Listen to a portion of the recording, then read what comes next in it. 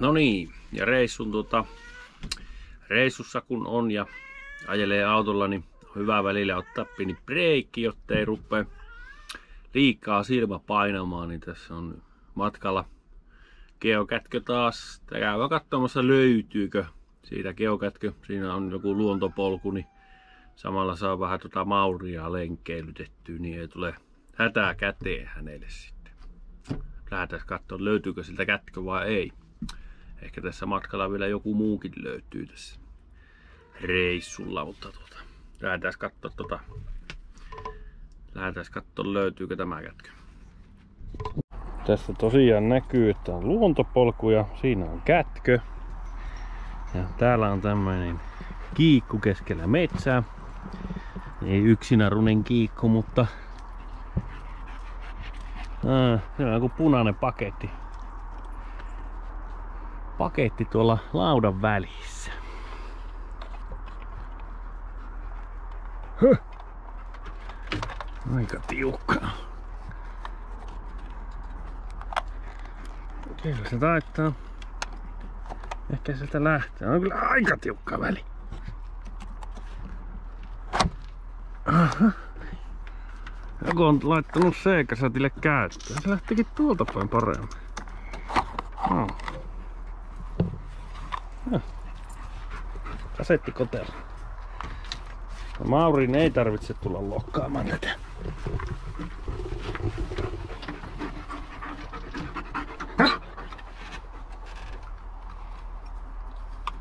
Oli, oli lähellä, että olisi kynää jäänyt autoon, mutta onneksi on. Tässä ei nimittäin ollut. Suinkin auki se tässä on.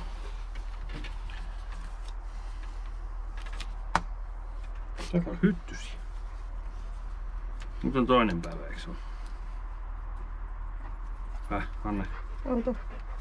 Toinen, juu.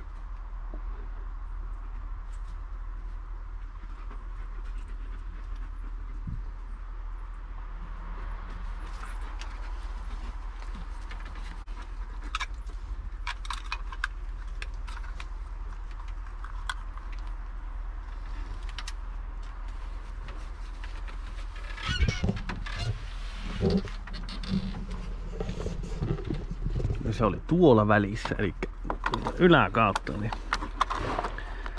parempi laittaa noin. Hyvä, siellä se on ja joku loggaamaan kännykällä.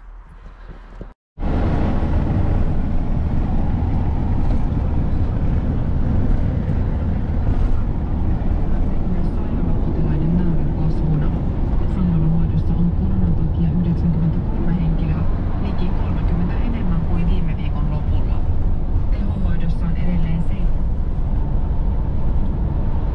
Siitä vähän näkyy, että tota, minkä verran niitä kätköjä täällä maailmassa on, että tuolla on neljä kilometriä toi, toi, toi matka, että tässäkin on aika paljon ympäristössä. Noin vihreät purkit on tommosia peruskätköjä, joita vaan sitten käydään etsimässä ja siellä sitten voi olla semmosia sinisiä kirjasia, jossa on kysymysmerkki. Tää on tämmönen CG-ohjelma, tää on ihan ilmanen, että, että kun vaan teet tunnuksen sinne geocaching.com, niin sillä tunnuksella kirjauttaa tonne sisään. Ja se tosiaan se sininen kirjanen, jossa kysymysmerkki, niin niissä on aina jonkunlainen pulma, jossa oli muun muassa olutmerkkejä, traktorimerkkejä, kaikenlaisia tämmöisiä, joskus jotain laskutehtäviä, että niiden perusteella kun sä saat sitten koordinaatit, kun on annettu niinku,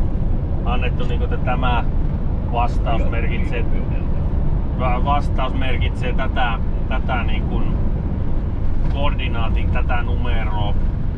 Ja sitten siltä geocaching.comista tai geocache.fiistä, niin tuota, siellä on semmonen geocheckeri, niin voit katsoa tuota, sieltä, että onko ne, kirjoitat sinne ne koordinaatit, mitä sinä epäilet, että on oikein. Ja sitten sieltä, tota, sieltä sitten tulee joko on väärin tai sitten sinä oot oikein saanut sen koordinaatin. Ja jos oot saanut koordinaatin, koordinaatin oikein, niin tuohon geocaching-ohjelmaan tai kepsiin laitat koordinaatit, se näyttää sen pisteen. Ja sit sä menet sinne ja siellä on se, se oikea paikka, josta sä sitten etit sitä, sitä kätköä. Sitten voi olla semmosia multikätköjä, eli siinä on semmonen oranssin näköinen, tossa on se oranssin näköinen purkki, jossa on useampi pikkupurkki, niin siinä niinku voi olla, että ensimmäisestä purkista, mikä on oikealla paikalla niinku se karttakoordinaattien mukaan, niin saat sitten seuraavalle seuraavalle tuota koordinaatit ja sitä seuraavalle sieltä seuraavasta purkista. Eli siinä on niinku useampi peräkkäin, voi olla ehkä jopa, jopa kymmenenkin kätköä, niin voit tuota mennä. Ohjelmasta löytyy myös kaiken näköisiä tapahtumia, eli miittejä. Eli voi olla, että on niinku pelkästään tämmönen Pohjois-Karjalan geokätköilijöiden järjestämä joku pikku, pikku miitti, että siellä on, siellä on niinku joku parikymmentä henkeä. No nyt on, nyt on Laheessa tosiaan niin tota, miitti tässä, onkohan se ensi viikolla. Se on niinku megamiitti. 50 Niin megamiittiin on odotettavissa, odotettavissa viitisen sattaa henkeä muistaakseni. Ja sitten on gigamiitti, niin gigamiitissä on muistaakseni odotettavissa noin 5000 henkeä. Niitä nyt on harvemmin. Mutta niitä megamiittejä tuntuu olevan, että joka vuosi. Vuosi tuota aina jossain päin. No, tänä vuonna ne on Lahdessa ja ensi vuonna... Että ne ensi vuonna oli? En muista, mutta joka tapauksessa niin geocache.fi on semmonen verkkosivusto, mistä pystyy, pystyy niinku katto miittikalenteri, niin siellä oli ihan hirveästi niitä pikkumiittejä joka päivälle nyt tälle kuukaudelle ja ensi kuun alulle. Mutta sitten tota niin, sitten tota niin, niin niitä megojakin näkyy siellä jo useamman vuosi eteenpäin, että ihan hauska, hauska juttu. Tää on geokätkö homma on vähän isompi mitä niinku tavallaan mitä sitä niinku ihmiset luulee, että sillä jossain joku purkki, mutta niitä on ihan hirveästi ja varsinkin opiskelijakaupungissa kaupungeissa on aika paljon. Lahessakin on ihan hemmetisti ja Joensuu pieni kaupunki, niin sielläkin on tosi paljon niitä kätköjä, kun katsot, että hyvä, jotta ei joka, jokaisessa jossain, jossain syöksytorvessa, mikä tulee kerrostalon katolta, ei nyt ehkä ihan, mutta kuitenkin todella paljon, että jos niitä lähtee hakemaan, niin, niin, niin, niin siinä, on, siinä on tekemistä. Ja minun Serkun kanssa niin on yksi tämmönen kätkötyyppi, on, se on mysteerihaaste, joo niin oli. Ja siinä oli semmonen, että mysteerihaasteita kätköjä piti etsiä 50 kappaletta, joo niin voi sitä kommentteihin laittaa oikein määrä, mikä se oli. Muistaakseni 50 kätkö 24 tuntiin. Tosin nehän tietysti voi Jonin kanssa olla jo niitä ratkottu ja saatu paljon ratkottua. Jonihan se on isoimman työn siinä tehnyt, että me on vaan auttanut sitä tämmöisissä joissa sähköoppi jutuissa sun muissa. Että ne on vähän semmosia mielenkiintoisia. Siinä on semmosia kätkytyyppejä, mitä on olemassa. Varmaan jotakin jäi vielä pois. pois tota. Tuolla oli jotain letterbox kätköjä myös, niistä mie en oikein tiedä mitä se tarkoittaa mutta tota, kuiten niin. Ja sitten kai ei kätköilyyn liittynyt karavanerilla aina tapana heiluttaa tassun tälle vastaan tulee karavanerille. Oli se auto tai vaunu tai retkeilyauto. Joskus jopa hevoskuljetuksettiin, mutta ne on vahinkoja. Tai kuorma-autot. Näin. Tässä näkee esimerkki, miten paljon on Pieksämäen seudulla tässä, tässä pienessä alueessa. Että kyllä niitä siellä on, mitä etsii. Varmaan vieläkin lisääntyy. No niin, tällä ajomatkalla oli tota toinen kätkö tässä kansan, niin katsotaan löytyisikö sekin. Tää on näköjään tavallinen koko, eli se on litran purkki. Se voi olla vähän helpompi löytää kuin tuommoinen mikro tai tämmönen pieni. Kyllä, lähdetään katsomaan että päästäänkö loggaamaan. Anne jo lähti Maurin kanssa penkomaan, että en tiedä löytääkö se sen, mutta lähdetään katsoa. Joo, eipä tullut katsottua, että tää on näköjään arkistoitu tämä kätkö, että ei ole enää. Täällä oli paikalla oli tota portti uusiutunut ja se on ennes, entisessä portissa ollut, että täällä on viimeksi löydetty se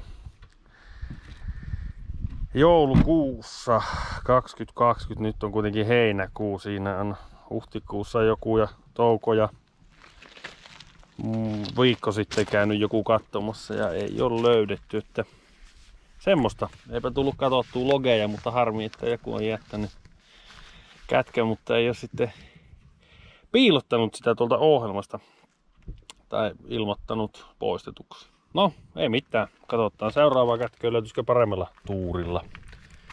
Jos vaikka olisi vaikka ihan pää paikallaan, missä pitäisi olla.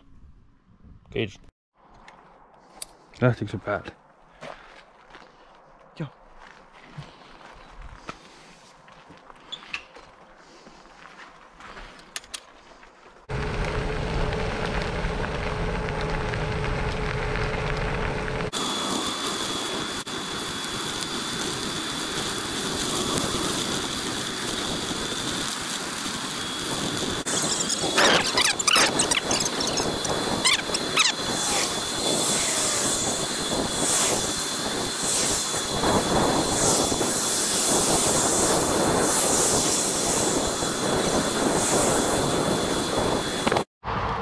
Tässä poukamassa. Ei pääse. Miten niin pääsi? Pääse pääse. Älä jää ainakaan sitä reppoa, se reppo nyt tänne.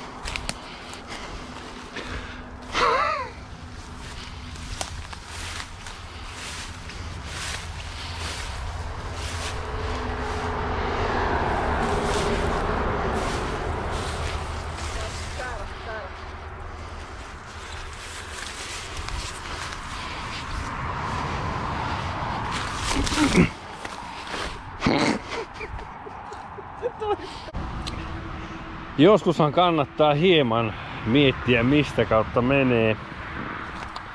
Näinpäs tuon äskeisen kätkön, niin en kyllä arvannut itse, että tuo olisi pehmyttä, mutta hienosti kyllä tuli jäljeet ja pysähtyi matka kuin seinää, että meni tuohon polveen myöten tuonne, niin piti vähän rämpiä, mutta tota, sain, sain lokattua sen. Mutta tota, joskus kannattaa miettiä ennen kuin lähtee suinpää. On myö Serkun kanssa joskus metässä oikastu. Ja on sattunut suo matkalle ja tota, senhän tiedät mitä käy. Näin. Taidaanpa tässä kätkö reissulla käydä nyt pesulla, kun yllätti tuo pehmeä paikka, mutta käydään siis uimassa.